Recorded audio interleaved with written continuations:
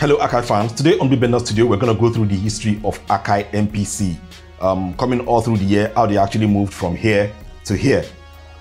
We're going to be discussing the, the, the improvement that has taken place over the years and basically just to see how that has transformed the whole music industry. So let's go.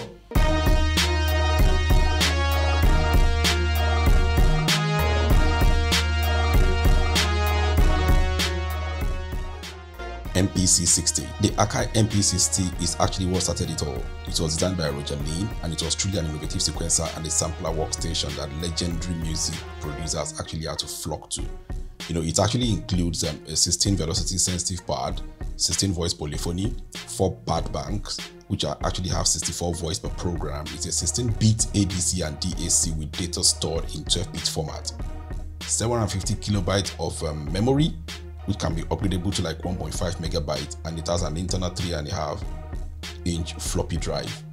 It's got a large tilting screen which is seen on many of the later models that we have today. MPC-60 Mark II. The Akai MPC-60 Mark II actually picked up where its predecessor left off. It was nearly identical to the MPC-60 and this version featured a headphone output and also a plastic case instead of the metal that is on the original one that actually was initially designed. MPC-3000. The Akai MPC-3000 is actually what changed the game when it was released. The improvement that includes a 16-bit 44.1 kHz stereo sampling, the memory was increased, it has 32 voice polyphony, expandable memory through SCSI, and a built-in effect and filter. So this legendary machine is still used by some of the today's top producers because even after about 25 years of its release date, it's still going strong. So there are some features that are on it that legendary producers and the oldies they really really like to just stick with. After the MPC 3000 was released, then there was another release MPC 3000 LE which is the limited edition. It's actually identical to the MPC 3000 except for the fact that it has a black custom design and it was released in the year 2000 but it's only limited to 2000 units. So if you don't have one then sorry no longer in the market. Mpc 2000 the akai mpc 2000 was the first series that roger linn was no longer involved in developing you know as the company didn't want to continue to pay him royalties for using his name. So the mpc 2000 is a 64 track sampler and sequencer. You know it comes to 2 megabyte sampling memory uh, as you can see, things are beginning to improve and it can be expandable to like 32 megabytes. It supports sampling rate of 44.1 kilohertz in 16-bit stereo or mono. MPC 2000 XL.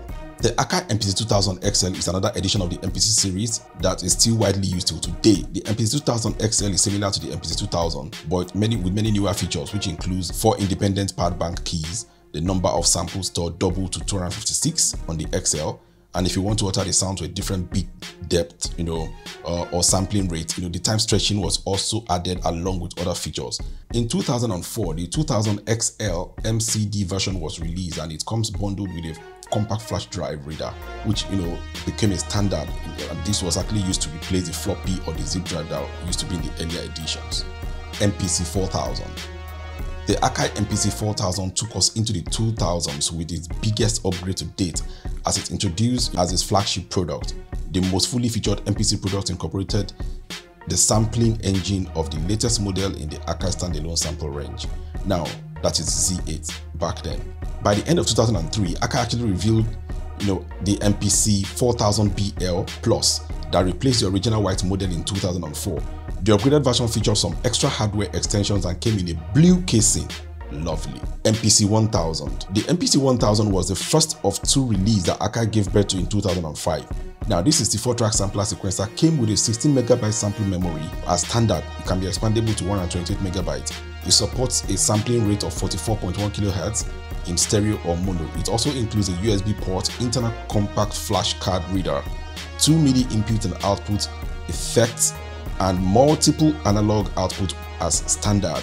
And while there were many issues with the pad sensors, you know, on the blue casing model, Akai upgraded this when it released its MPC 1000 BKN in 2007. Don't ask me why Akai has been jumping up and down in terms of numbers. You see them 4000, 2000, 1000, back to whatever. That's just their, their own convention. Okay, so I guess during those period, they were just trying to, you know, find their footing in terms of the naming convention. And I, I believe that works for them eventually.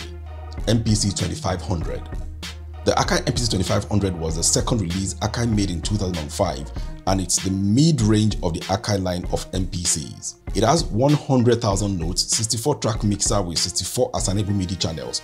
You can upgrade to 128 MB of RAM and this version also has the easy computer connectivity with USB port. It contained a compact slot for storage of samples. This also included Chop Shop that was a feature built to chop and sample into as many as 64 pieces. A CD and a DVD drive could also be added for burning and reading capabilities.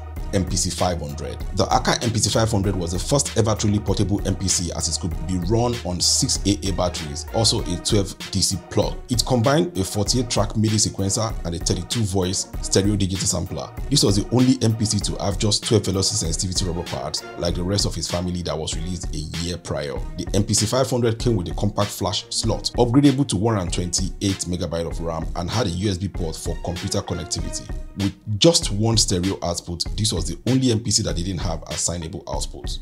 MPC 5000. The Akai MPC 5000 was its last standalone sampler released in the 2000s and that actually was how it is until 2017 but let's just take it a step at a time. At the time of its release, it was considered to be the flagship MPC. While it did boast some new enhancements, it got some couple of backlash because it didn't live up to the expectation fully in terms of being an upgrade from the MPC 4000 to what we currently have right now. But overall, even while the MPC 5000 lacks some of the sampling editing capabilities of the older MPC 4000 and also some of the hardware specs uh, are lower than the MPC 4000. A good example, it has 192 megabytes of RAM versus the 4000 which has 512 megabytes and a slightly smaller screen. Now with the update and more stable operating system that is on the MPC 5000, many new features were introduced that gave it a slight edge above the 4000. MPC Renaissance. The Akai MPC Renaissance was the first company's pivot away from the true standalone sampler and sequencer as it is first MPC to take the power from an external computer, now with its own software anyway. The Renaissance could take on the look of the classic MPC 3000 sharing the transport button, the jog wheels, the armrest, but then the LCD screen shared the same look as the MPC's 1000, the 2500 and the 5000. So this was the first MPC to include backlit pads that change color for velocity, step edit, and the rest of them. The Akai MPC Studio was a second sampler sequencer that was released in 2012 and it came in a more compact size built to fit easily in a backpack. It's powered by USB with low profile knobs, brushed aluminium body and it includes MPC software for Mac and PC with 128 track sequencing capability. With 16 backlit genuine MPC pads, legendary MPC workflow, MPC swing plus 4 touch sensitive knobs providing enhanced MPC software control. Its large LCD screen and you know uh, allows you to make track without having to even take a look at your computer. IMPC. The Akai IMPC for iOS software was released, I think, in 2012, as well as the Akai MPC Fly, which was basically just built to control the IMPC, the iPad version. Let's digress a little bit. The majority of these softwares coming out from Akai MPC is simply because at the time, during this particular era, that was when they had to channel the strength of their um, hardware developers to focus on Ableton Live. That was when they were working on the Ableton Push, the um, the flagship controller for the Ableton Live software. That was in 2012 because that was actually released in 2013. And then in 2013, they came up with the IMPC, the iOS application, which also now became compatible with the iPhone and the iPod Touch. That same year, the MPC was made even more portable with the Element uh, that's the MPC element, that's the low profile design, it's just 14mm thin and it includes an integrated cover to protect the brushed aluminum control surface when you are on the move. Um, the included USB cable connects your, you know, connects it to the computer and it provides all the power it needs basically to work. Even talking about the illumination and the MPC element multicolor parts and the buttons. Also, all these years, they were still working and providing um, the, the Ableton company with the Ableton push. So in 2015, Ableton decided to do to Akai what Akai did to Roger way back. You know, Ableton said, you know what, thank you very much, Akai. We now have our guys that can take take over the, the design of our Ableton push from here. So get back to work. Now, so Ableton have to now come back to the table, and that was when they released their own Ableton Push 2. If you check that out, it doesn't have the design by Akai or any Akai um, signature on it. Strictly made by their own development team. Uh, now, then Akai came back to their own drawing board and then they came out with MPC Touch. And the Akai MPC Touch was a redesign of the legendary sampler with boasting of an ultra fast and super intuitive workflow because of its 7-inch you know, color multi-touch display. One can grab and you know you can paint, you can draw MIDI events, you can adjust envelope, you can chop samples, you can add effects and precisely set your control using your fingertips. And it comes combined with a classic MPC feel, the sound and the vastly improved part. You know, the touch embodies the best element of our past while taking music production technology into the future. MPC Studio Black. The 2012 MPC Studio got refreshed with the MPC Studio Black in 2016 Aside from its, you know, the sleek and stylish black brushed aluminum body, the master you know, encoder wheels and uh, all the cooling knobs, they've been raised and made larger. So the 16 RGB MPC pads are now thicker and more responsive, inspiring greater expression, performance, and you know, programming. MPC Live. The Akai MPC Live is a true standalone and portable MPC with a full-color 7-inch multi-touch screen, 4-touch capacitive Q-Link controls, a clickable master encoder knob, and 16 amazingly responsive velocity and pressure-sensitive RGB pads. Weighing at less than you know 6 pounds, the MPC Live ushers in a new era of ultra-portable production. Powered by a rechargeable lithium ion, this is the first actual sampler to have a self-powered battery Yes, it actually comes bundled with a 16 gig of onboard storage and the MPC Live features numerous ways to take your beloved sampling uh, library and MPC sessions anywhere. Files can be accessed and transferred to an inserted SD card, um, an external drive or the USB hub, maybe like a flash drive. And if that is not enough, there's also like a 2.5 inch SATA drive connector at the back that you can also just plug in your own external drive and keep it right there. So now with this, it basically means your memory storage is no longer capped. MPC-X, Akai's latest flagship MPC-X is a standalone MPC with a full-color adjustable 10.1-inch multi-touch screen, 16 amazingly responsive velocity and pressure-sensitive RGB parts, and 16 gig of internal storage. To make it a truly untethered computer-free experience, the X also features two USB slots that can be used for MIDI controller connectivity. So powering the X is um, the legendary MPC 2.0 software which actually runs natively in standalone mode. For more expressive performance, there are 16 touch-sensitive 30-degree assignable ports, perfect for precisely animating individual Q-Link parameters. And above each of those Q-Link ports is a high-resolution OLED display detailing info for the individual parameters the MPC-X has a number of additional know, features that makes it the most powerful standalone music production tool to date. Uh, it has a high quality audio interface engineered you know, for recording, sampling and transmitting pristine sound. The back panel is equipped with two XLR 1.4 inch TSR input for recording microphones, including those needing 48 volt of phantom power. There are two additional 1.4 TRS line inputs on the back panel and the front panel also features two more one quarter line inputs. Now, the onboard CV gate and the output enables the analog control of modular gear such as the classic synths, you know, the drum machines, and the for vinyl junkie, we included two RCA phono inputs with RIAA preamp to ensure that the right levels are coming, you know, into the X from your turntable. In 2018, um, the IMPC got an upgrade in 2018. That's, that is just an IMPC Pro 2. I think um, I had that. Yeah. MPC 1 is a total music production solution to take your idea from concept to finalize radio ready beats. The MPC 1 packs a lot of features and workflow tools into one powerful punch. The beat, the programming, editing, mixing effects, and instrument, and so much more. You know, it means an uncompromised creative experience. MPC Live 2 the Akai MPC Live 2 is the full MPC experience in its most portable configuration yet. Everything you need to make the music anywhere right at your fingertip. There is no need to compromise for portability. MPC Live 2 is a complete MPC experience without missing a step. A rechargeable lithium ion is included, and the full-size MPC pad that gives you the ultimate in drum performance and the expanded function button allows for quick editing on the fly so you never miss a beat for the first time ever, you now have a studio grade monitor built in directly to your MPC, which means if you don't have your cables, I mean, if you don't have your headphones, don't worry, MPC Live 2 got you.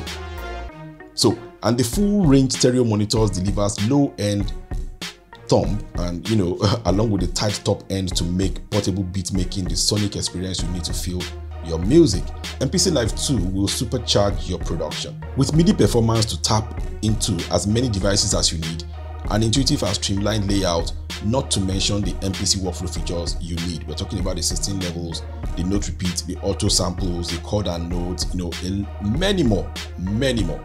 With the MPC Live 2, you are basically just ready to level up. Based on this history from 1988 till date, you realize that them playing around with different shapes and different sizes of all their sampling devices is just for them to be able to get a brand and a model to work through. So, and now it seems as if they've already gotten their standard in terms of, oh, this is the shape we're going to stick with. And then let's just continue to build in and add up more and new features. In 2021, MPC came up with a new device tagged MPC Studio. This is kind of like an upgrade to the old version of the MPC Studio. And this is supposed to be a controller. Now, they've named this a complete MPC system which bring the total MPC experience to your computer, you know, by combining the intuitive hardware control and innovative, inspiring software. It also got the impressive premium pads for perfect production and assignable touch strip controls.